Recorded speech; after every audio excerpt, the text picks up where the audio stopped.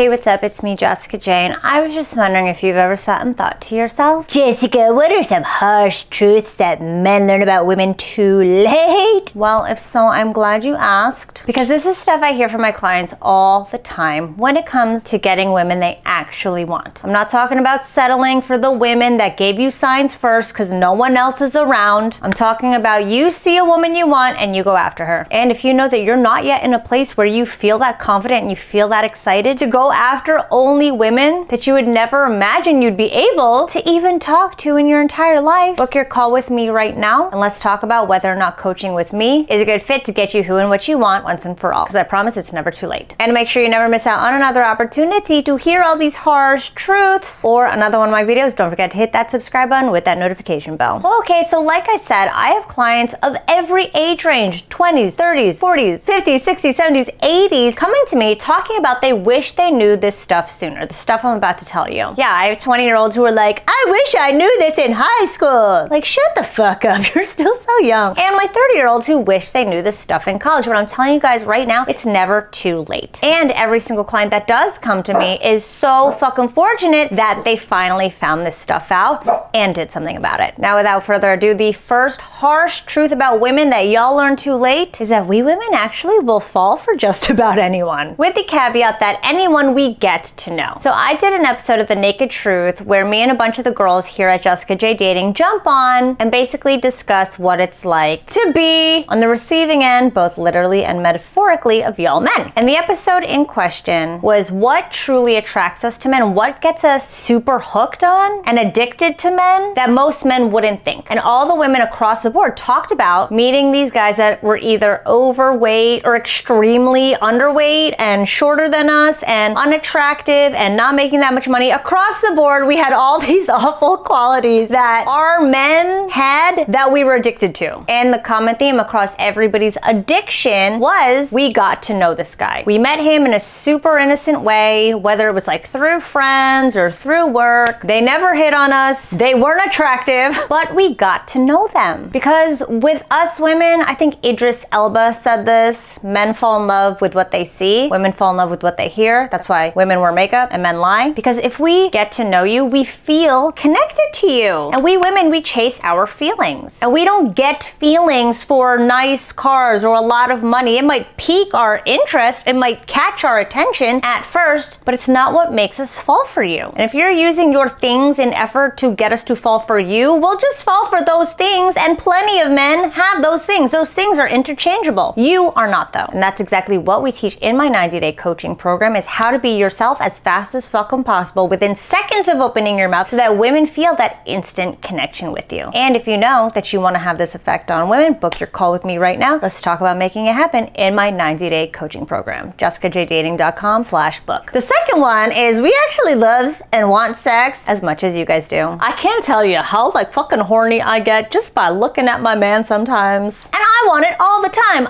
Ideally, I would like to have sex once a day. And all my girlfriends, sometimes all we do is talk about sex when we get together and talk about how bad we want it. I have so many girls ending up with dudes just because they want to get laid. You guys really underestimate the fact that in this generation, we women are feeling so much more okay to want it. We always wanted it. Across the board, we always wanted it. We just don't want it with just anyone. But when we like you, when we feel a connection to you, and you're making us laugh, we want to fuck you too. So mark my words, when you are able to create that connection and you are able to engage back and forth and we have fun together, we'll want to fuck. Which then brings me to the third one, which is we are desperate for you to make a move. I'll say right now that 90%, maybe 99% of my girlfriends do not make the move. And I think it might be an American thing where we just have been conditioned to think that that's what men are supposed to do. And that's what men want is a woman who sits and waits and is like demure and like ladylike and not putting her hand on your D and shit. Because the 1% of my girlfriends that make moves, they're actually not from this country. So maybe it is an American thing. But I'm telling you right now, we want you to make that move. Again, we want it just as bad as you do. When we like you, when we have a good enough conversation with you, we'll want to have sex with you. Sometimes I have an okay enough conversation with dudes and I'm like, I wonder what it'd be like to fuck him. Too many of you complain about being friend zoned, but I'm telling you right now, if you even got into a friend zone, we were waiting for you to move things forward. And eventually we gave up on you and thought you just wanted to be friends. So make that move, buddy. Unless you kiss her, you haven't made a move. I've had clients end up butt naked in bed giving massages to girls and nothing more happened because they didn't just kiss her. And that's what us women want.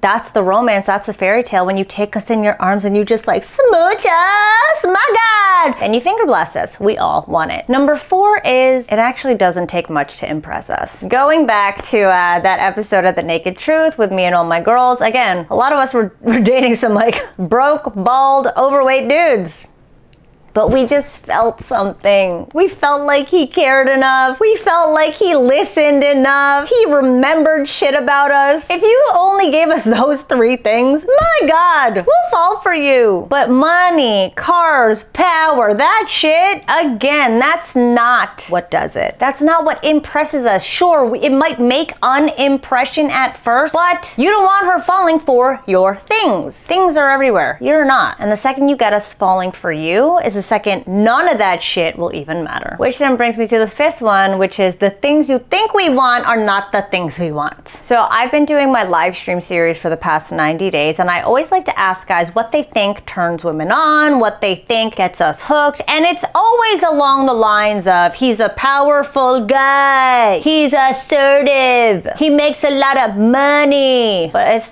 it's not that. It's not that at all. We genuinely look for quality over quantity. Like y'all think we all want a big D. Eh, it could help if that's her thing. But also, we, we fuck little dicks too. We fuck all sorts of dicks, all sorts of economic statuses and looks. I'm 4'11 and I just saw that today it's somebody's birthday. This guy that I used to pine over when I first moved to LA. I'm 4'11. I think he might be 5'2. He's skinnier than me. I'm 105 pounds. 107. He actually had um, an extremely large nose that was like very crooked. I think he broke it, so it had like this weird indent. I mean, he made as much money as me. We lived in the same building. There was nothing attractive about this man, according to men. But you bet your ass, I was definitely, whew, yeah. And number six, and this is something my clients constantly say by the end of my program, it's actually a lot easier to get us into you than you think. Again, going back to number one, we'll fall for just about anybody we get to know. If you are somebody who is capable of being himself at all times, if you're somebody that can engage with women with an air of openness and curiosity, we'll fucking want you. It really doesn't take much. A lot of you guys think that women these days have these high fucking standards because they're so fucking self-absorbed absorbed in shit and they make too much money now. No, we women genuinely don't want much. There was this reel I saw on Instagram about this guy who was like, I can't believe how like easy it is to make my wife happy. All I did was put the dishes away and she started crying. I was like, oh my God, you love me so much. I'm telling you right now, if you ask me how my day is and you tell me how your day is and then you say you're happy to see me, I'm getting wet right now over this hypothetical conversation. It is so much easier than you think. If we get to know you and you want to get to know us and you let us know that you want us, fuck, that's all it takes. That's exactly what we train all our clients to do in my 90 day coaching program. So if you know that your interactions with women right now aren't getting them hooked, aren't getting them hanging on your every word, and aren't getting them trying to prove themselves to you, let's make it happen. It's not too late to turn things around for yourself. It's not too late to actually get women you want. A lot of you guys are really good with women you're not that attracted to, but fuck that. Let's get the women that you are 100% absolutely into and attracted to and that your friends will be surprised you even approached or dated. jessicajdating.com slash book. Don't be victim to these six things because I promise you right now that you can make a change right now. Thanks for watching as always guys and I'll see you next time.